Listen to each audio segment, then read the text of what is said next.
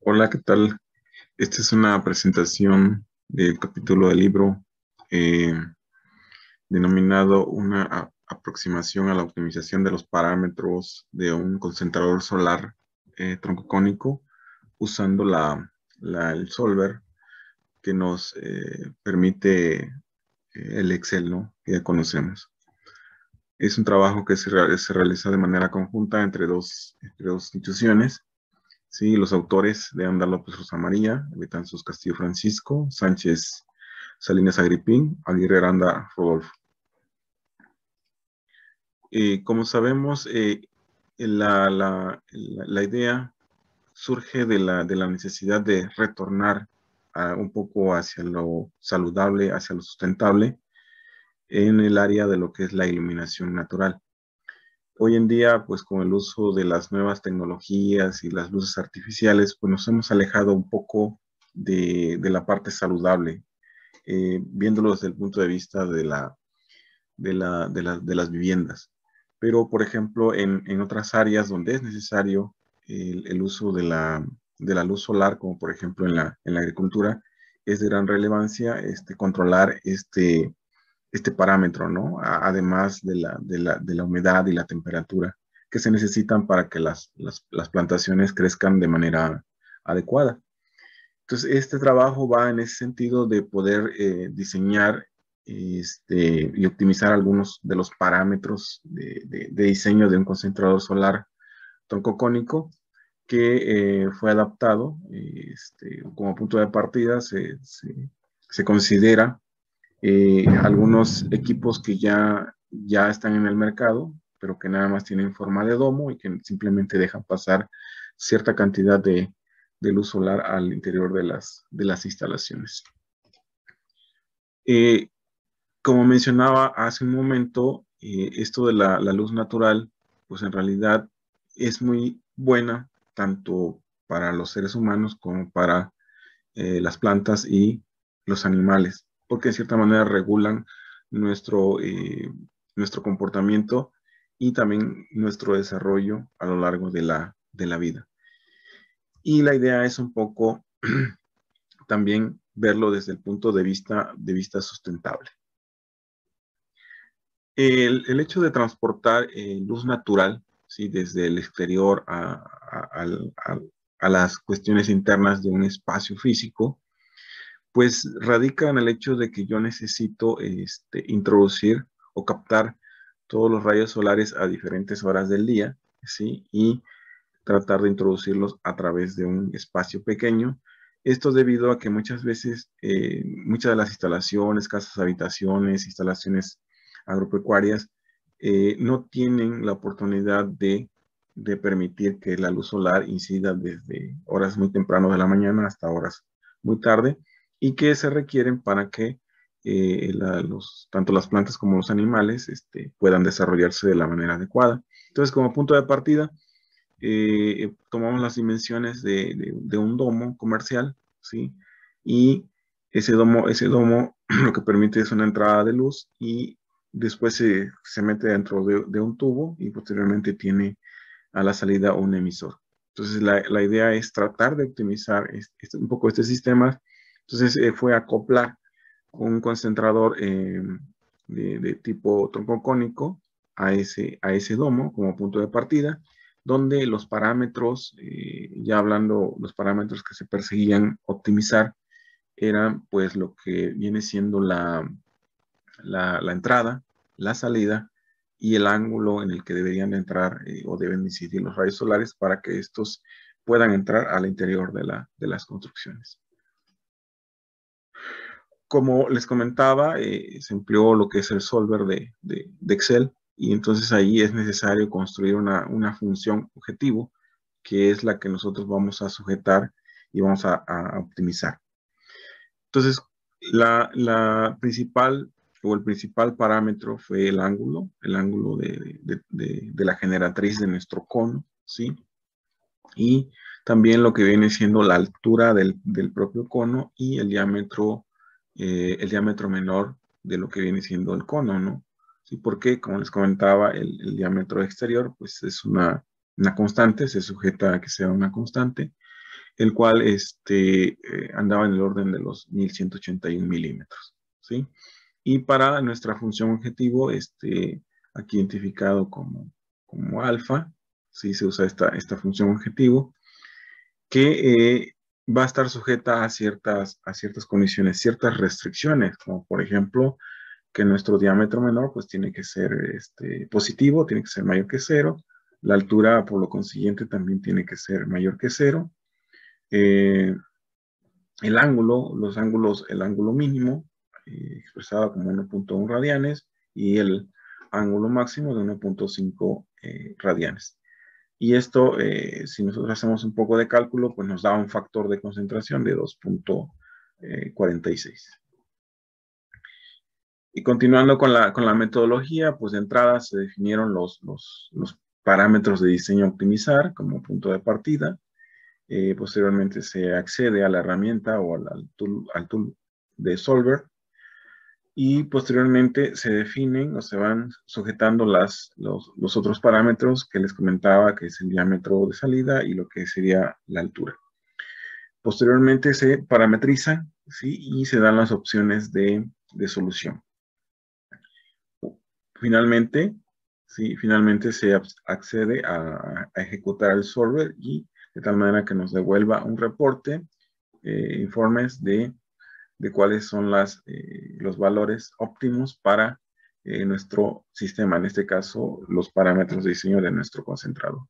Finalmente, posteriormente a esto, que una vez que ya se tuvo algunos primeros resultados, se procedió a construir un modelo escala, ¿sí? un modelo escala de, de un concentrador y y es transportador de luz, de luz natural, ¿no? A través de, un tubo, para lo cual pues fue necesario eh, eh, auxiliarnos de un espacio físico, de un equipo portátil, una PC, eh, componentes físicos, ¿no? Tanto lo que vendría siendo el domo activo y pasivo, un tubo, un extractor, algunos recubrimientos de aluminio y diferentes accesorios, así como instrumentos de medición como el DB526 Data Logger, eh, sensores de luz en el rango de 0 a 130 kilo, kilolux, eh, sensores de temperatura y lo que siendo los software, ¿no? Tanto el solver de, Excel como el Mechanical Desktop para la parte de, del dibujo, ¿no? Del diseño. Una vez realizado todo esto, pues encontramos algunos resultados, ¿no? Algunos resultados este, que, que, están más detallados obviamente en el, en el, capítulo del libro. Aquí nomás les muestro que el diámetro eh, más, más grande, el diámetro de entrada, eran los 1181 milímetros, ¿sí? Y que este, nosotros eh, calculamos el resto de dimensiones, como lo que viene siendo el ángulo óptimo de la generatriz, la altura del cono, el, diámetro más pequeño, y eh, para sujetarnos también a la concentración que nosotros andamos buscando. Los reportes que nos da el solver generalmente tienen que ver con eh, la identificación de las respuestas, las respuestas tanto de las, de las celdas objetivo, donde ponemos nuestra función, las celdas cambiantes, donde nosotros podemos estar este, eh, modificando ciertos parámetros para modelar diferentes eh, corridas y tener posibles resultados, así como las restricciones a las que está sujeta el, el, modelo este que, que estamos planteando. Aquí están, se muestran también las restricciones y, cómo se fue organizando dentro del solver para eh, lo que son las, las condiciones y las, eh, las celdas que van cambiando.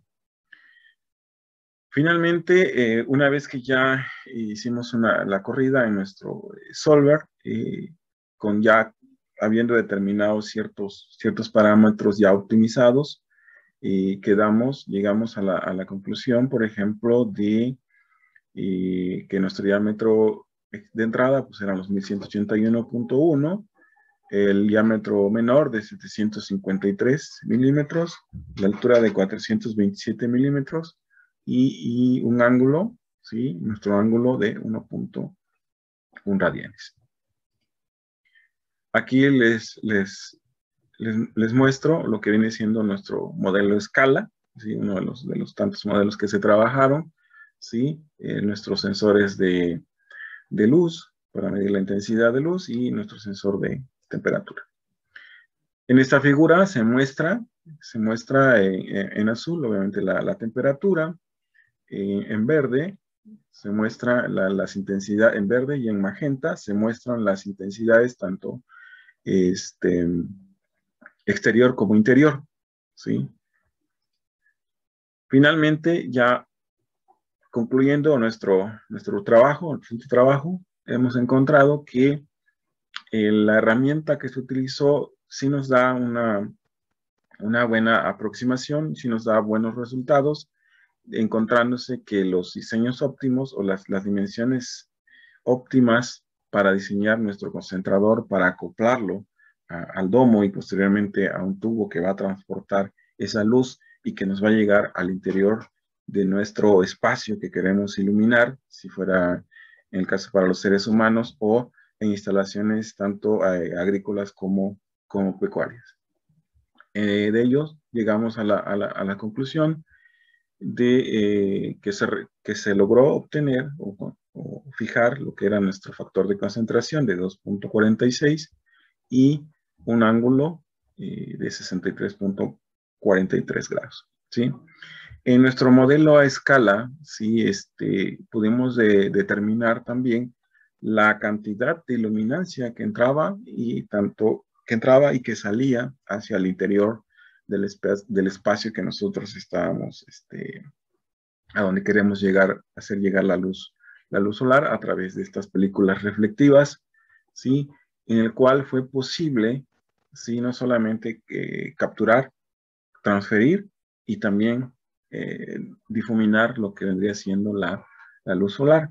En el caso de este, de este modelo encontramos este, factores de concentración de 1.78 para condiciones de, cielo abierto y de 1.89 eh, auxiliándonos, por ejemplo, de una, de una lámpara eh, de, de halógeno, ¿no? En teoría, nuestro, nuestro este, nuestro modelo, nuestros cálculos, habíamos sujetado o habíamos puesto la condición de 2.46 y por lo cual los, los, valores que nos dan a un modelo escala eh, por el tiempo que se midió están, están muy próximos y que si nosotros empezamos a modificar esos parámetros y esas restricciones, esas constantes, se puede lograr a encontrar estos, estos valores eh, teóricos que se pusieron, se propusieron de un inicio, ¿no?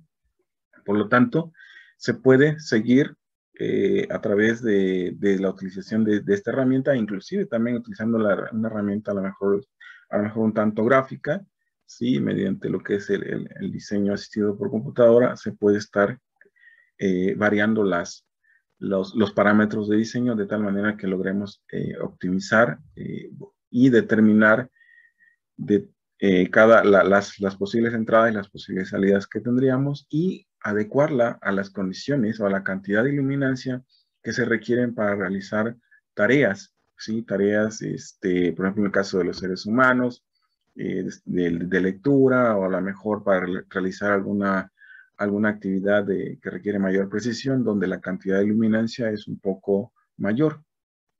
Así como también eh, nos damos cuenta por los resultados que si yo lo quiero instalar en, instalaciones eh, agrícolas o pecuarias, eh, sin problema podemos estar eh, jugando con estos parámetros de diseño de tal manera de ajustarlo a, la cantidad de luz que requieren determinadas plantas y determinados este, animales, ¿no?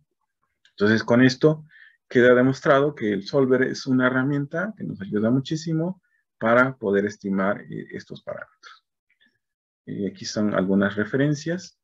Y finalmente, pues eh, agradecemos, eh, podemos agradecer al, Tecnológico de Estudios Superiores de Valle de Bravo y a la Universidad Tecnológica del Sur del Estado de México por eh, las facilidades y el apoyo para la realización del presente proyecto.